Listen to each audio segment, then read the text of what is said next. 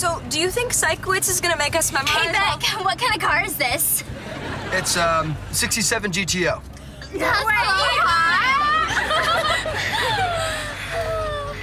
When you offered to pick me up this morning, I didn't know you'd have other passengers. Oh, I didn't either. Sometimes girls just show up at my house and ask for rides to school. Isn't he sweet? Like candy. Yeah. So, are you gonna come with us to Nozu after school? Yeah, I'm, I'm gonna try to, but first I have to find oh out. Oh my god, Beck, your hair smells so good. You guys, please smell this boy's hair. Oh, baby! I know, right? What kind of shampoo do you use? Oh, just some kind in a bottle.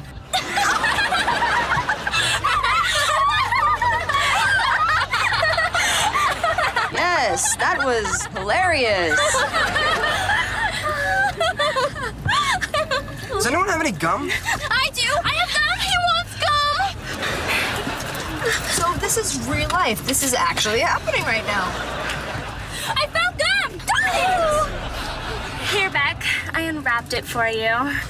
Ooh, so none of you guys are gonna offer to chew it for him? I'll chew it for you. I can totally chew it. My teeth are strong. I gave it to him. I'll chew it.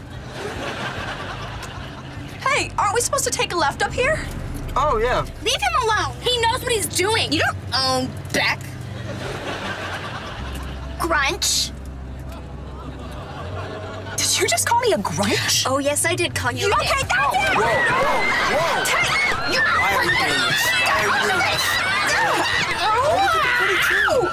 Nobody wants to look at the pretty tree? Okay. Over there.